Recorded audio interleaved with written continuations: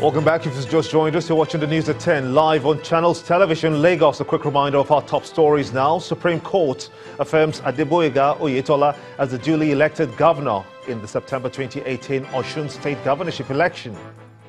Governor Oyetola applauds Supreme Court judgment upholding his election as his rival in the election, PDP's Ademola Adeleke, congratulates him on his victory. Court orders temporary forfeiture of $40 million worth of jewelry belonging to former Minister of Petroleum Resources, Diezani Alison Madueke. And peace deal at last in Sudan as ruling military council and a coalition of opposition groups agree to share power for three years before elections.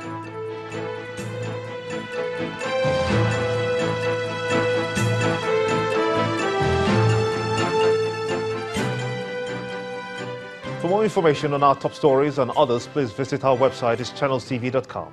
Do subscribe and watch Channels Television's live stream on YouTube and other social media platforms using your mobile device browser, or download the Channels TV app for Android and iOS devices from their respective stores. Besides giving you access to news and updates on the go, the Channels TV and Channels 24 app have an eyewitness feature that you can use to share those pictures, videos, or news of happenings around you. Just install the app and tap and swipe to reveal the menu and follow the instructions. Let's now get some more perspectives on the judgment delivered today by the Supreme Court on the Osun State governorship elections. And joining us live from our Abuja studios is a senior advocate of Nigeria and vice chancellor of Baze University in the Federal Capital Territory in Abuja, Professor Tahir Mamman. I want to thank you so much indeed for joining us tonight on the news at 10. Now, this legal tussle, uh, all over and done with, the elections also uh, done with. How did you receive the news of the judgment by the nation's highest court? Well, with some relief, certainly uh, when these cases uh, take their route from the trial to the appeal stage, uh, it, it, has a way of affecting administration the, in the states and the jurisdictions affected by those contests. So it must have come as a great relief to the people of Osun State.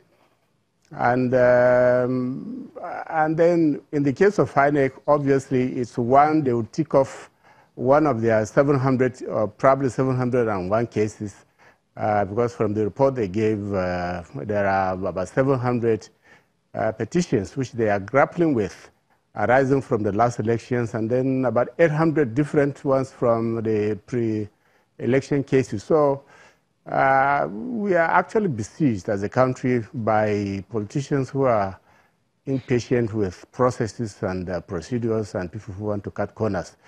And then, of course, for the Supreme Court, uh, handling so much, with so much uh, in their docket uh, over the same problem that we're talking about. So it's a relief to everybody.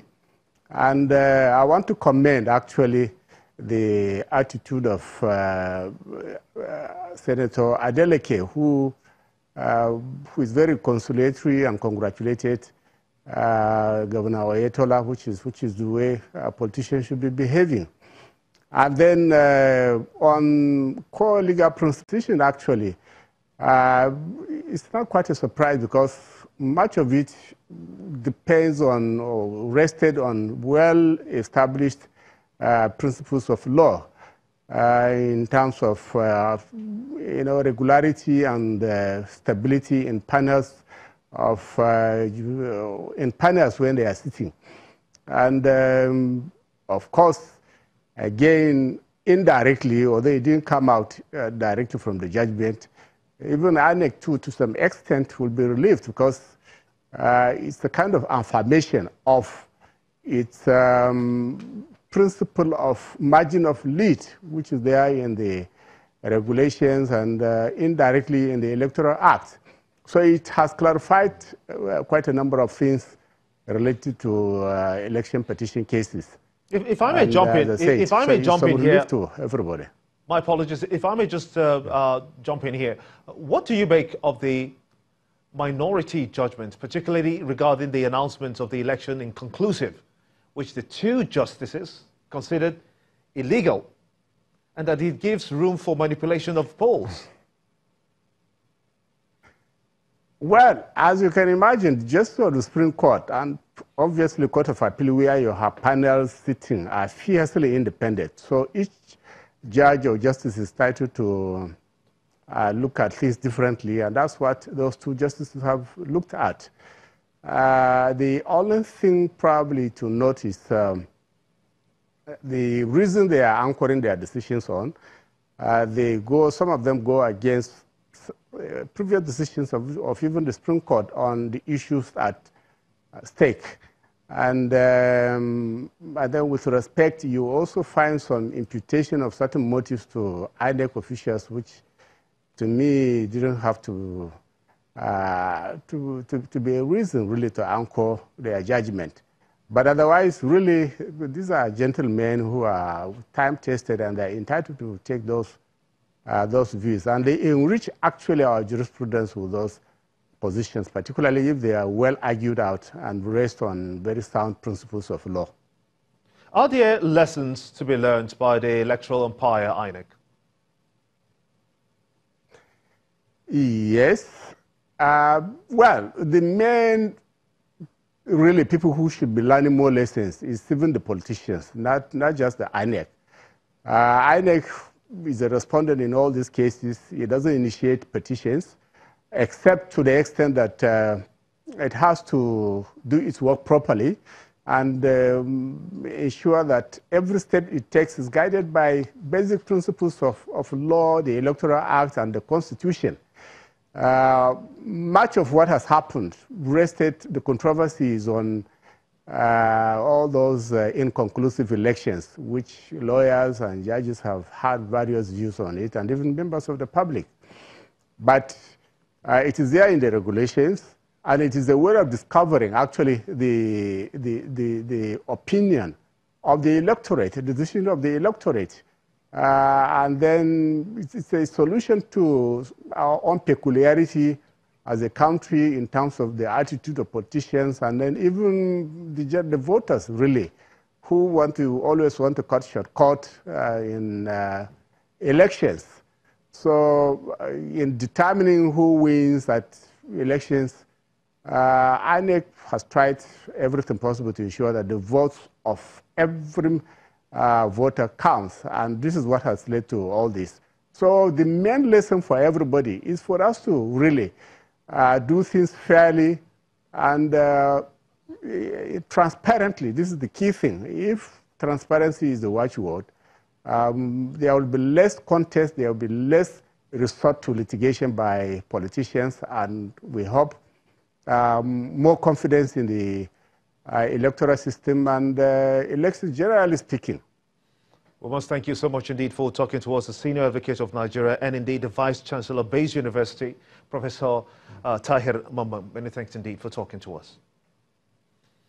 Is President Muhammad Buhari reacting to pressure well, that probably is the situation as the President has announced the reappointment of Mr. Boss Mustapha as the Secretary to the Government of the Federation and Abba Kyari as the Chief of Staff today.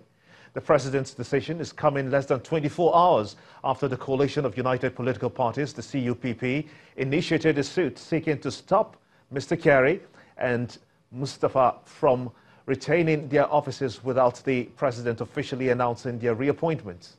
The announcement is contained in a statement by the Senior Special Assistant to the President on Media and Publicity, Garba Shehu, and it says that the appointment takes effect from May the 29th. Mr. Kyari has been the President's Chief of Staff since he assumed office in 2015, while Mr. Boss Mustapha was first appointed Secretary to the Government of the Federation in 2017. The President also announced the appointments of 11 other personal staff, including Bayo Omoboriowo, as the presidential photographer, and Sunday Aghaeze as the state photographer.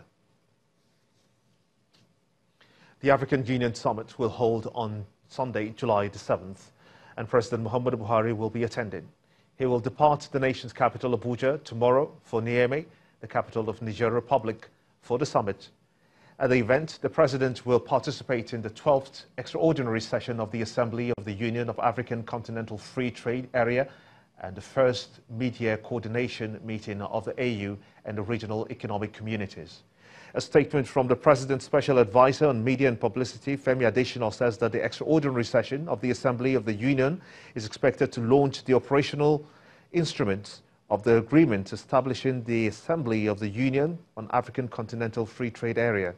President Buhari will be accompanied to Niamey by the First Lady, uh, Mrs. Aisha Buhari, as well as the governors of Borno, Kebbi and Katsina states, among other top government officials.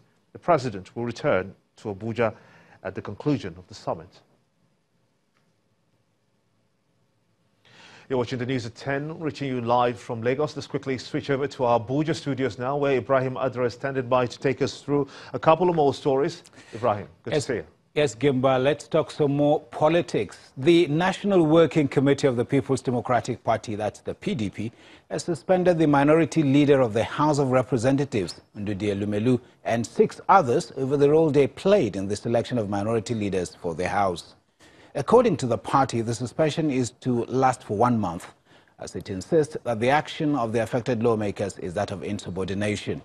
Other lawmakers suspended are Honorable Wale Oke, Linda Ikpeazu, Anayo Edwin, Gideon Gwadi, Toby Okechukwu, and Honorable Adekoya Abdulmajid. The lawmakers had been summoned to the NWC meeting to explain the roles they played in the selection of minority leaders of the House. When the Speaker, Femi Gbajabiamila, refused to read the list sent to the House by the PDP, but read another which was submitted by all minority political parties in the House. The PDP had nominated Honorable Kingsley Chinda as the House Minority Leader. Well, meanwhile, the minority leader of the House, Honorable Ndudi Elumelu, says he is surprised and shocked that the National Working Committee of the PDP can sit and take a decision without giving room for fair hearing. He explains that he left Abuja immediately after plenary on Thursday and traveled to Delta State after he lost his aunt. He says he asked his special assistant to write to the party and request a new date since he was unavoidably absent. He adds that his respect for the party is not in doubt and that he is ready to serve. Honorable Wale Oke from Osun State on his part describes the decision of the party as unfortunate as he concludes that the party has only suspended its most loyal members for towing the path of honor and constitutionalism. The Federal Capital Territory Police Command has granted bail to Senator Elisha Abbo for, after detaining him, that is, for 24 hours. FCT Police Public Relations Officer DSP Anjuguri Manza, who confirmed the release of the embattled senator, says he is expected to return to the command next week for further questioning. DSP Manza confirmed that Senator Abbo was released after meeting certain conditions which he declined to disclose. Senator Abbo had visited the command on Thursday in response to police summons and was taken into custody as part of investigation into the incident. He was seen in a viral video beating a nursing mother at a store in the nation's capital, Abuja. We'll take a break now. OPEC oil output hit new five-year low in June.